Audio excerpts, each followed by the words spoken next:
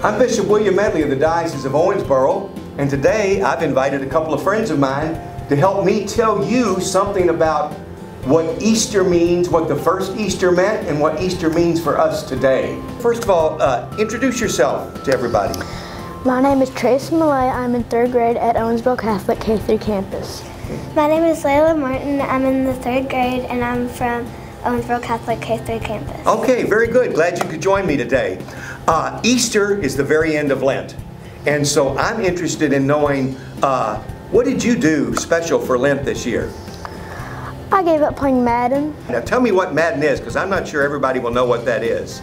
Madden is a football game. Okay, very good. Has it been hard to, to give that up for a while? Okay. What about you? I gave up all drinks except for water. All drinks except for water. So no pop, no orange juice, no chocolate milk, no coffee. I bet you don't drink much coffee though. Okay. But that's that's a sacrifice, isn't it? Okay, so that's the end of Lent. Uh, what do we celebrate at Easter? What do we what, what do the Gospels tell us about that first Easter? Jesus rises from the dead. Wow. How did Jesus die? Um, first of all, he died for us and he died on the cross. Died on the cross, yeah. So after he died, where did they put his body? They put it in the tomb. In the tomb, right. And then on that first Easter Sunday, some people went to pay homage, to pay respect to Jesus. What did they find?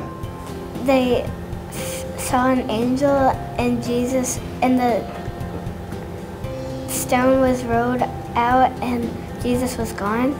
Right, they don't they didn't bury people like we did. They often buried people in something like a cave. So it's not like they were in the ground.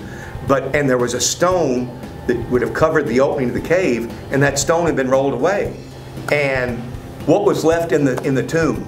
An angel. An angel. But what about the body of Jesus? It was gone. It was gone. Okay. That's something else. So that means that Jesus was no longer dead? Yes. Right? Okay. So Jesus rose from the dead. Where is he today? In heaven. In heaven and? In our hearts. Everywhere. Yeah. In our hearts. We encounter Jesus in a lot of ways. So what do we do now on Easter Sunday to remember the resurrection of Jesus? We go to Mass. We go to Mass? We have Easter egg hunts. Easter egg hunts. Why would you have an Easter egg hunt?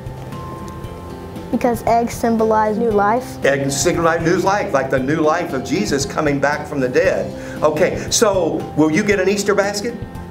Probably. Probably. What do you think might be in it? Uh, candy and maybe some coins. Candy and coins? What'll be in yours? Um, probably some a, a bunch of candy. A bunch of candy. Now, this is an important question. Will you share what's in your Easter basket with the bishop? Yes. Oh, I need to write your address down so I can find you on Easter Sunday morning. Okay. Uh, well, very good. This is the most important feast day of all Christianity. It's even more important than Christmas.